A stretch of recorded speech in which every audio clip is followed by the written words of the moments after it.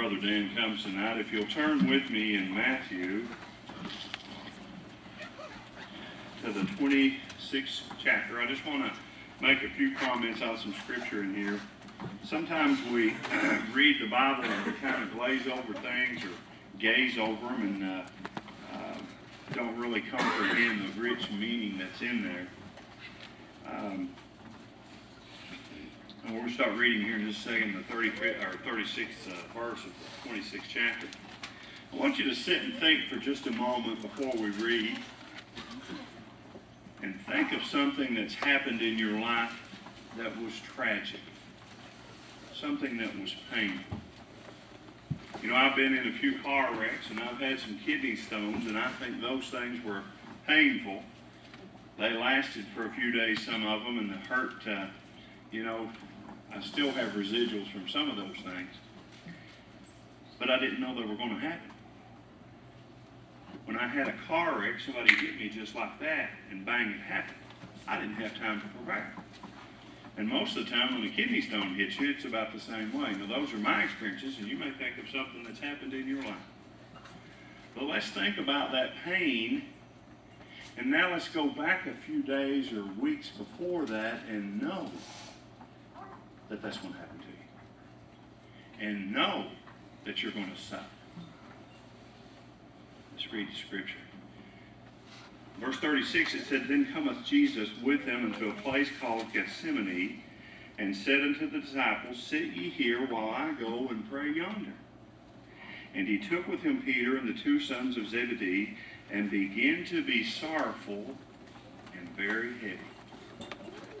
He knew what was coming. Verse 38 says, Then said he unto them, My soul is exceedingly sorrowful, even unto death. Tarry ye here and watch with me. And he went a little farther, and he fell on his face and prayed, saying, O Father, if it be possible, let this cup pass from me. Nevertheless, not as I will, but as thou wilt. Now, if you knew you were going to be in a car wreck, or if you knew that you were going to be hurt some way, you would probably try to talk your way out of it. And Jesus knew what he was facing. And he's asking God, he said, if it can be possible, I'd just soon not do this. He knew what he was going to face. He had that power. He's omniscient, all knowing. He knew what was going to happen. And I think that part of this, and I think Doc, Doc can bear me out, it was this stress that he was suffering and knowing, and the condition I can't even pronounce, but that his blood got into his sweat glands because he knew what was going to happen. Now, when it happens to us, it happens and we don't know. But it, what I'm trying to get across to you is to think about even what happened in his mind before it ever happened. He suffered greatly before it ever happened for us. Verse 40 says, And he cometh unto the disciples, and finding them asleep, and said unto Peter, What? Could you not watch with me an hour? Now you know something bad is going to happen to you, and maybe somebody goes to the hospital with you, but they're over here asleep, and you're sitting here worried about it. How would that even compound the way that you felt?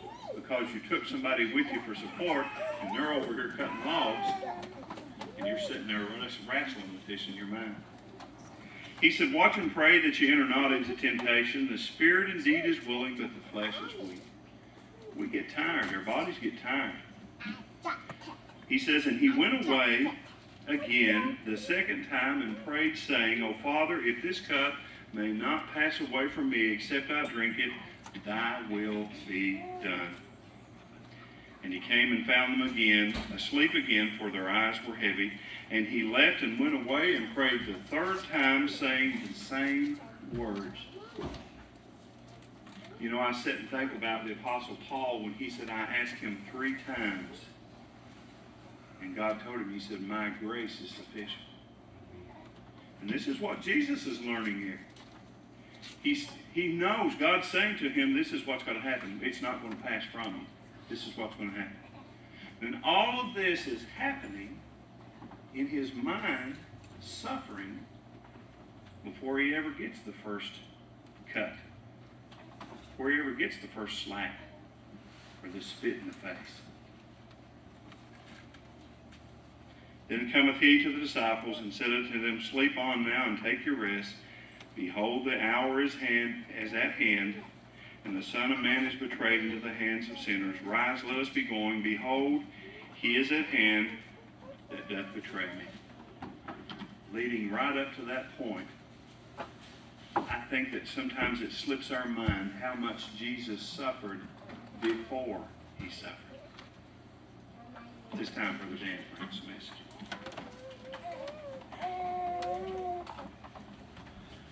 Thank you, Brother Tom. I know we've said it before, but I couldn't listen to that. He, he has a way of making things plain and simple. Uh, I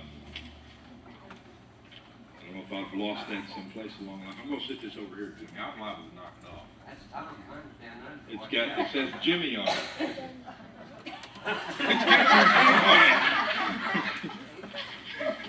Okay. We've had a, we've had a real good week and, and I know it's, it's been a tiring week for a lot of people and a lot of people are kind of worn out. And I was feeling that way myself for a while and then I started thinking about what Jesus went through on that week. We didn't have a rough week. You know, he, he, he went through it all. Uh, and Brother Tom did a real good job there bringing that out.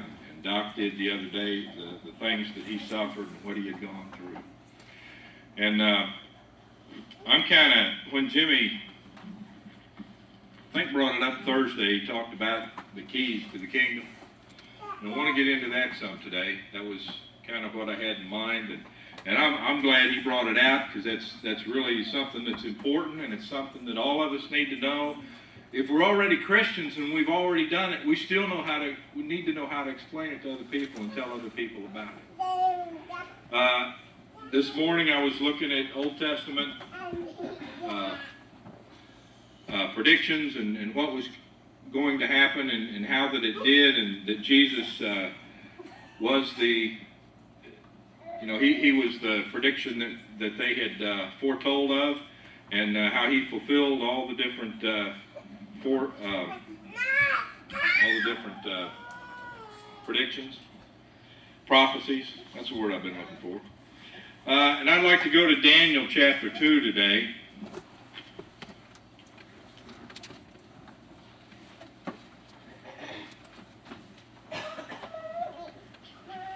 Daniel, Shadrach, Meshach, and Abednego.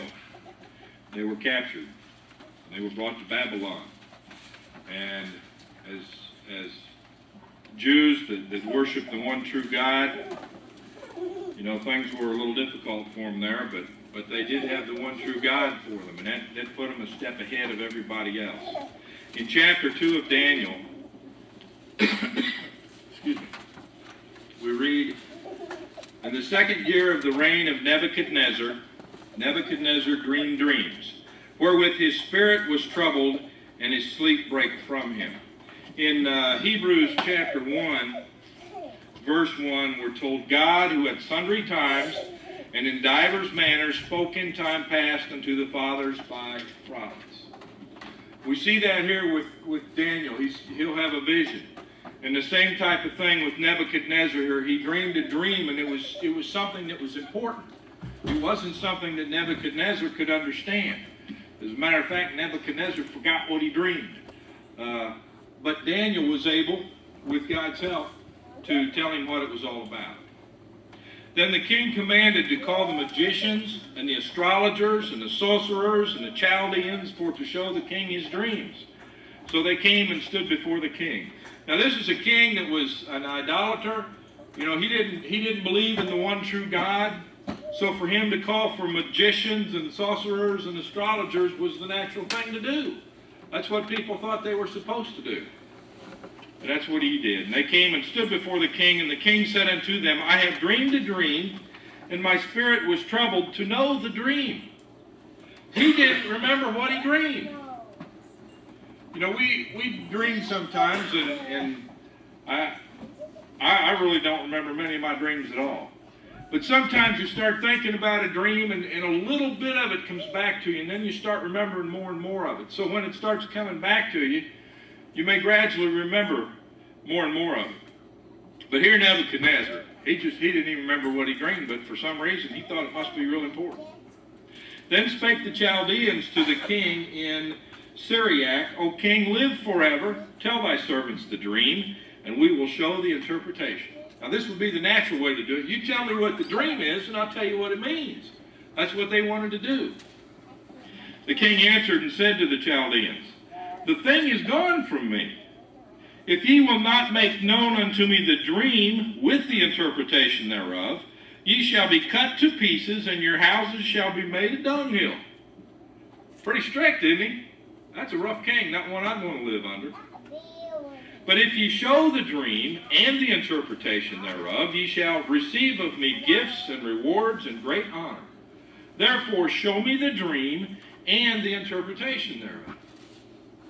Now, it seems like he's asking something just ridiculous that nobody could do. we find out that, that nobody can do this. But this is what he asked for.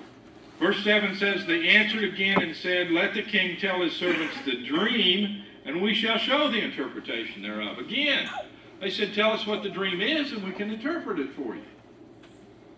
But Nebuchadnezzar didn't remember what it was. The king answered and said, I know of certainty that ye would gain the time, because you see the thing is gone from me. Or you would try to buy extra time because you see that I don't, I don't remember what it is. But if ye will not make known unto me the dream, there is but one decree for you. For ye have prepared lying and corrupt words to speak before me till the time be changed, or until a later time. Therefore, tell me the dream, and I shall know that ye can show me the interpretation thereof. So now he's saying, if you can tell me what the dream is, and you're right about that, then I know the interpretation is going to be correct.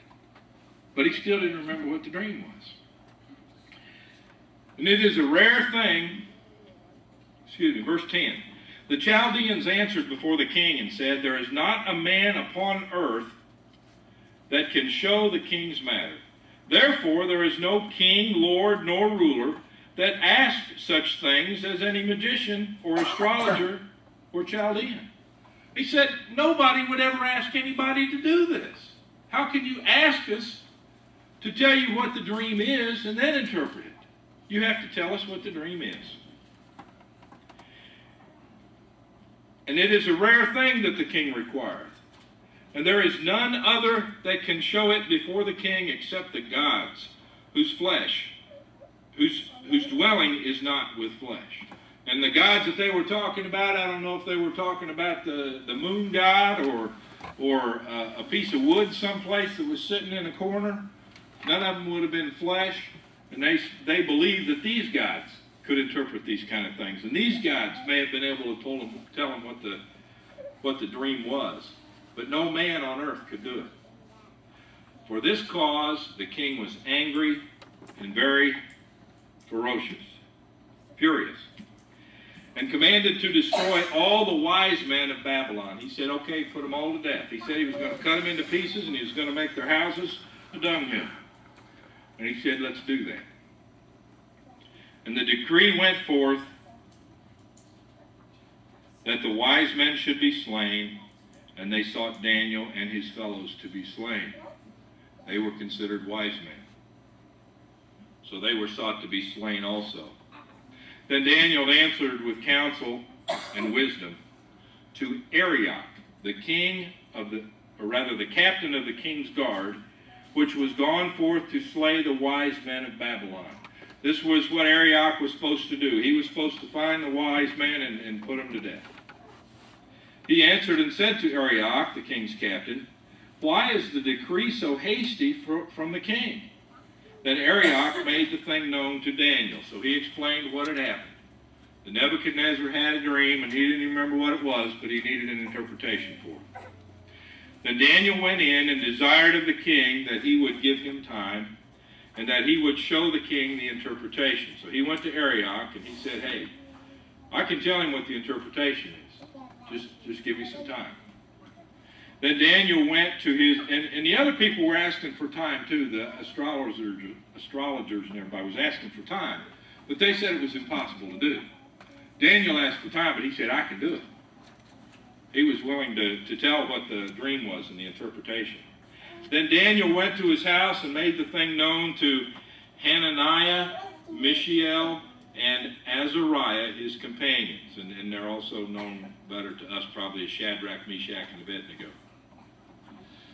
And what he asked him was that they would desire mercies of the God of heaven concerning this secret, that Daniel and his fellows should not perish with the rest of the wise men of Babylon. So the first thing he did, he went to his three, his three fellows, as they're referred to here, companions, and he said, we need to pray.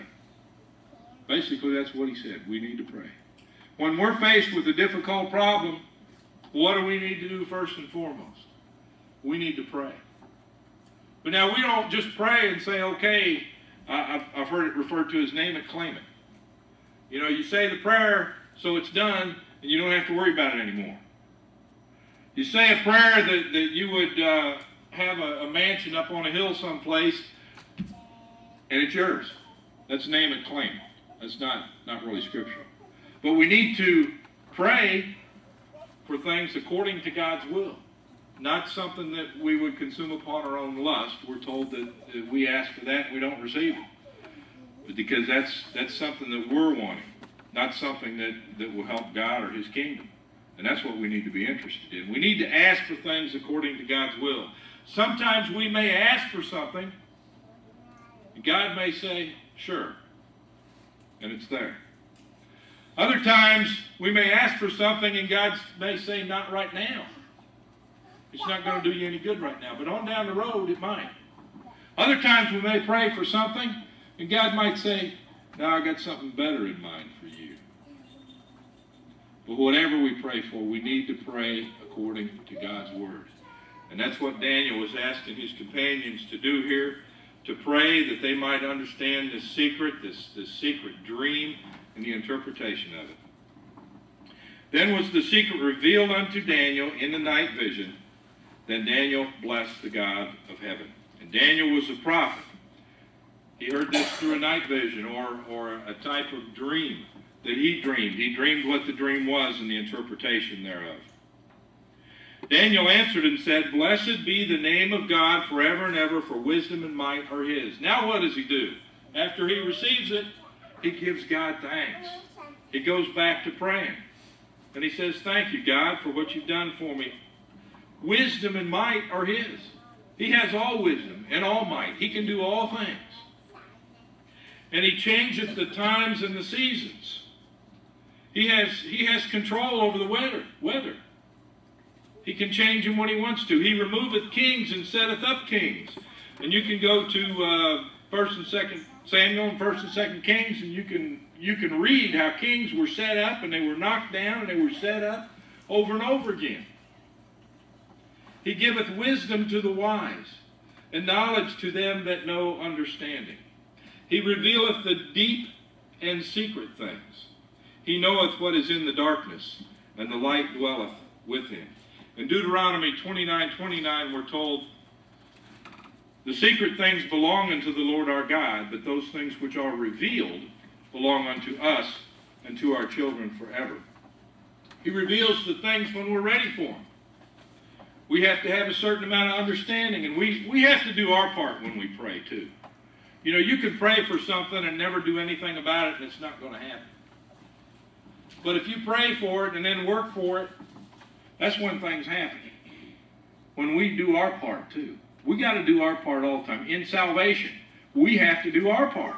People want to say it's all God. We don't have anything to do with our own salvation.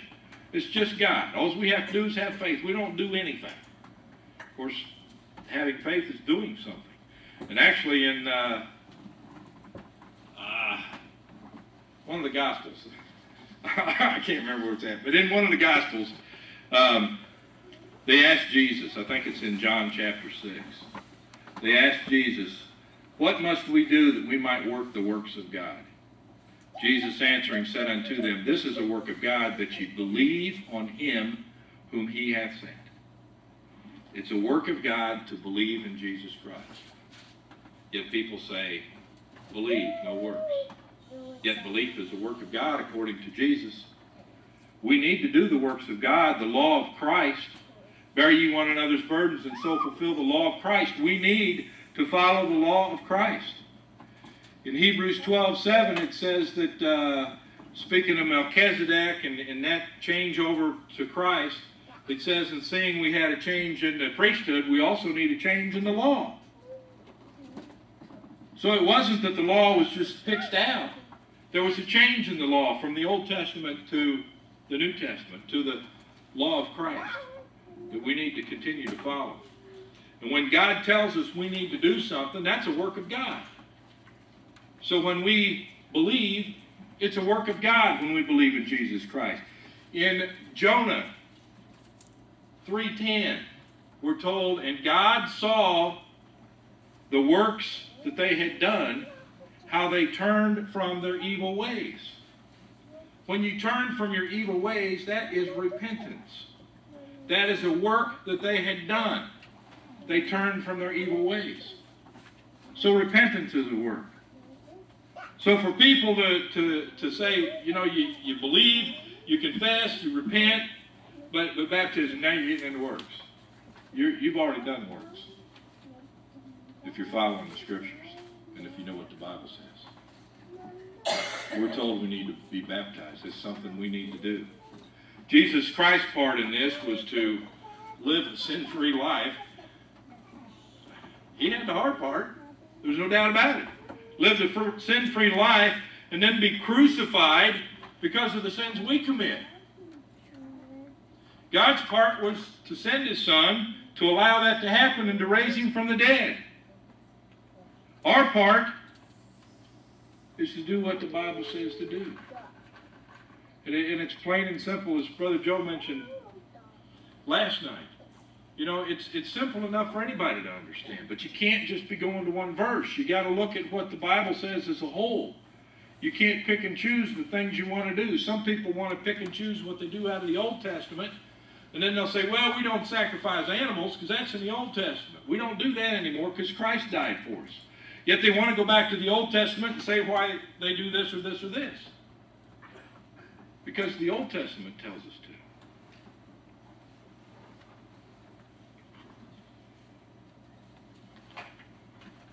I can remember where I'm at here. He's, he's verse. Where am I? 22? 22. Okay, 22. 23 then. I thank thee and praise thee, O thou God of my fathers who hast given me wisdom and might, and hast made known unto me now what we desired of thee. For thou hast made known, for thou hast now made known unto us the king's matter. So again, he gives God the thanks. Therefore Daniel went in unto Arioch, whom the king had ordained to destroy the wise men of Babylon, he went and said thus unto him, Destroy not the wise men of Babylon, bring me in before the king, and I will show unto the king the interpretation. Now notice, when uh, he first talked to Shadrach, Meshach, and Abednego, he told them to pray that, that they wouldn't perish with the rest of the wise men. But now that he has the interpretation, he says, hey, don't let any of them perish. He didn't want that to happen. Then Arioch brought in Daniel before the king in haste, and said thus unto him, I have found a man of the captives of Judah that will make known unto the king the interpretation. The king answered and said to Daniel, whose name was Belteshazzar, Art thou able to make known unto me the dream which I have seen and the interpretation thereof? Well, the king already knew Daniel. The king already knew how wise Daniel was. Back in chapter 1, uh, verses 19 and 20, it says, And the king communed with them, and among them all was found none like Daniel, Hananiah, Mishael, and Azariah. Therefore stood they before the king, and in all matters of wisdom and understanding that the king inquired of them, he found them ten times better than all the magicians and astrologers that were in all his realm. So he already knew that Daniel had much greater wisdom than the astrologers that he called to interpret the dream in the first place. Verse 27 Daniel answered in the presence of the king and said, The secret which the king hath demanded cannot the wise men and astrologers and magicians and soothsayers show unto the king. Daniel said, matter of factly, they're not able to do it. You know they can't do it. Well, who could? They even said nobody could do it, didn't they? No man can do it. But Daniel says in verse 28, But there is a God in heaven that revealeth secrets. Daniel's not coming in saying, I can do it. He's coming in saying, There's a God in heaven that can do it. And maketh known to the king Nebuchadnezzar what shall be in the latter days. Thy dream and the visions of thy head upon thy bed are these. As for thee, O king, thy thoughts came into thy mind upon the bed, what should come to pass hereafter, and what that revealeth secrets maketh known to thee, what shall come to pass. But as for me, the secret is not revealed to me for any wisdom that I have more than any living, but for their sakes that shall make known the interpretation to the king, and that thou mightest know the thoughts of thy heart. For the sakes of those, uh, for Daniel and others, and for the king himself, uh, that the interpretation would be made known, but also that the king might know the thoughts of his heart. I, I looked this verse up in in uh, in another version. I looked it up in several, and, and all the others seemed to be a little bit clearer to me.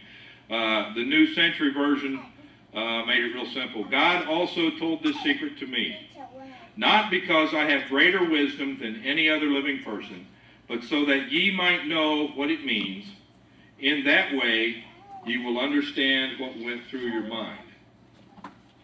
So we see it was it was for the king. It was so that he would understand and know what it was that he dreamed and what the interpretation was. Thou, O king, sawest and behold a great image.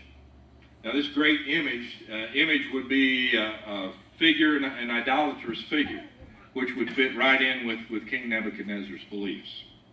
This great image, whose brightness was excellent, stood before thee, and the form thereof was terrible, or it was great, or it was tremendous. This image's head was of fine gold, his breast and his arms of silver, his belly and his thighs of brass, his legs of iron, his feet part of iron and part of clay. Thou sawest till that a stone was cut out without hands, we'll learn later that that stone was cut out of a mountain without hands which smote the image upon his feet that were of iron and clay, and brake them to pieces. So this rock was cut out of the mountain without hands, and it hits this large statue in the feet and breaks the feet to pieces. Then was the iron, the clay, the brass, the silver, and the gold broken to pieces together and became like the shaft of the summer threshing floor. It became like chaff of a threshing floor. The, the threshing floor where you got the wheat, what they would do is they would they would take a shovel and they would take the wheat and they'd throw it into just a different pile. And when they threw it, the chaff would be caught by the air and it would fall to the floor. That's how how this was. It, it was like dust. And that's what this turned into. And the wind carried them away because it was like dust. That no place was found for them, and the stone that smote the image became a great mountain and filled the whole earth. The stone that smote the image grew, and it grew tremendously. This is the dream, and we will tell the interpretation thereof before the king. Thou, O king, art a king of kings. For the God of heaven hath given thee a kingdom, power, and strength, and glory. And wheresoever the children of men dwell, the beasts of the field and the fowls of the heaven, hath he given into thine hand, and hath made thee ruler over them all. Thou art this head of gold. King Nebuchadnezzar, you're the head of gold. Actually, King Nebuchadnezzar's kingdom of Babylon was the head of gold. There were, from, from the day Daniel to the coming of Christ, the world has been ruled by four great empires. The first being that of Babylon. And this is, this is world rulers. Since this time, nobody has ever ruled the world. There have been some countries that have tried and come up short. But these countries, or these kingdoms, ruled the whole world. First the Babylonian Empire, then Persian. Third was the uh, Macedonian Empire or the Greek Empire, and the fourth was the Roman Empire. They all ruled the world. And that's exactly as Daniel predicts here, or as the, the interpretation of this dream predicts. Verse 39 says, And after thee shall arise another kingdom inferior to thee. After Babylon, after it's gone, after it falls, there will be another kingdom inferior. That would be the kingdom of Persia. And, an, and another third kingdom of brass. And that would be the Greek kingdom or the uh, Macedonian kingdom, which shall bear rule over all the earth. That's what they had in common. They bore rule over the entire earth. And the fourth kingdom shall be strong as iron, for as much as iron breaketh in pieces and subdueth all things, and as iron that breaketh all things, all these shall it break in pieces and bruise. And whereas thou sawest the feet and toes, part of potter's clay and part of iron, the kingdom shall be divided. And the Roman kingdom was divided into two separate elements. But there shall be in it of the strength of the iron, for as much as thou sawest the iron mixed with miry clay. Now the government in Rome was broken down into ten different uh, parts of the government. Ten different governmental units. In verse 30, or rather 42 says, And the toes of the feet, how many toes on the feet? Been ten toes. The same as what was in Rome at the time. And as the toes of the feet were part of iron and part of clay, so the kingdom shall be partly strong and partly broken, or partly brittle or fragile. They were fragile because they had the clay mixed in with them. And whereas thou sawest iron mixed with miry clay, they shall mingle themselves with the seed of men, but they shall not cleave one to another, even as iron is not mixed with clay. They mingled themselves with the seed of, seed of men.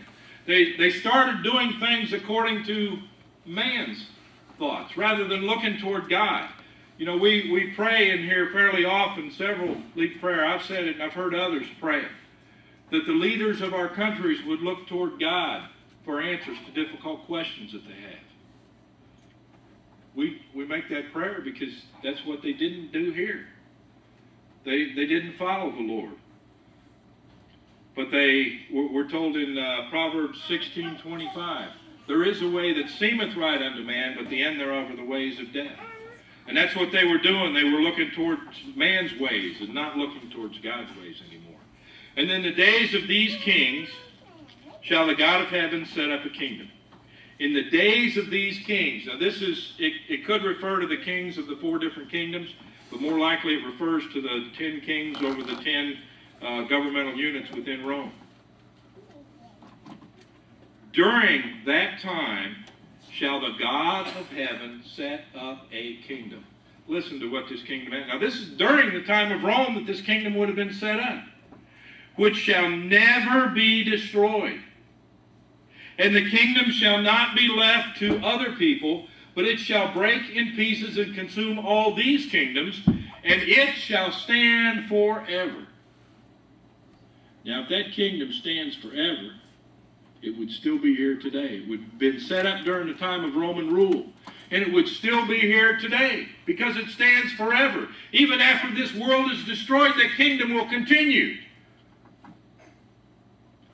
You know, we're told in uh, Colossians 1.13, who hath delivered us from the power of darkness and hath translated us into the kingdom of his dear Son. In Matthew 16, 18, where, where Brother Jimmy read from the other day. And, and I'll start, uh, I'll, I'll, try to read through these fairly quick. Verse uh, 13, when Jesus came into the coast of Caesarea Philippi, he asked his disciples, saying, Whom do men say that I, the Son of Man, am? And they said, Some say thou art John the Baptist, some Elias, and others Jeremiah, or one of the prophets. He saith unto them, But whom say ye that I am? And Simon Peter answered and said, Thou art the Christ, the Son of the living God. And Jesus answered and said unto him, Blessed art thou, Simon Bar-Jonah, for flesh and blood hath not revealed this unto you, but my Father which is in heaven. And I say also unto thee, that thou art Peter, and upon this rock I will build my church. Jesus said he would build his church upon this rock. That rock was not Peter. but it was what Peter said. Peter said, Thou art the Christ, the Son of the living God. That is the rock or the firm foundation upon which the church is built. And it's Jesus' church. It's on that firm foundation. The very fact that Jesus is the Christ, the Son of the living God. And he says, I will build my church, and the gates of hell shall not prevail against it. It's going to be an, inter- an eternal kingdom. And I will give unto thee the keys of the kingdom of heaven. The keys to the kingdom of heaven, or the church. They're one and the same. In I've already mentioned in Colossians, but also in uh, I think verse nine of chapter one in Revelation, John said he was in the kingdom when he was writing uh, the book of Revelation. He was in the kingdom on the Lord's day. So we see that, that the kingdom was in existence at that time. The kingdom that Daniel told us about from Nebuchadnezzar's dream. That very same kingdom. There are certain things we need to do to enter into that kingdom. Jimmy went through them the other day. You need to hear the word, believe, repent, confess the Lord whom God hath sent, be immersed and enter in, and continue faithful till the end. We need to do each and every one of those things.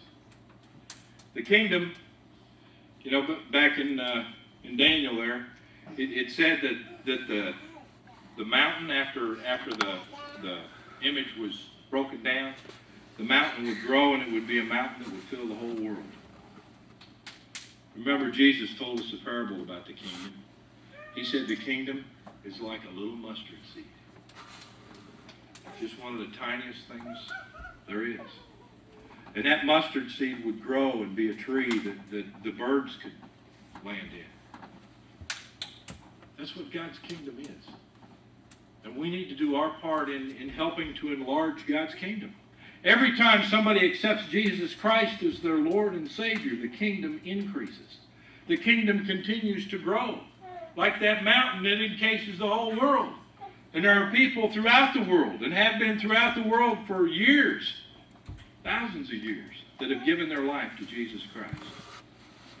That's the kingdom that Daniel told of. That's the kingdom that we need to be a member of. If you're not a Christian today and you'd like to give your life to Christ, you've heard the word, you need to believe, you need to repent, or ask the Lord to come into your life and help you start living for Him and get out of your old life. Then during our song of invitation, we invite you to come forward, and there's a couple more things you got to do to become a member of His kingdom. You need to confess Him before men. We'll give you that opportunity right here tonight. And you need to be baptized for remission of sins, and we'll give you that opportunity as well. And you can be a Christian before you walk out the door tonight. Or you can put it off. Maybe a more convenient time will come your way. Maybe not. We don't know, because we don't know when our last breath will be. We don't know if we're going to make it home tonight. Some of us live pretty close, but we, we can't guarantee that. We have plans on going home from here, and I hope and pray everybody makes it home. But it, it's not something that we can guarantee. It's what God wills. This time, let us stand and sing number 629.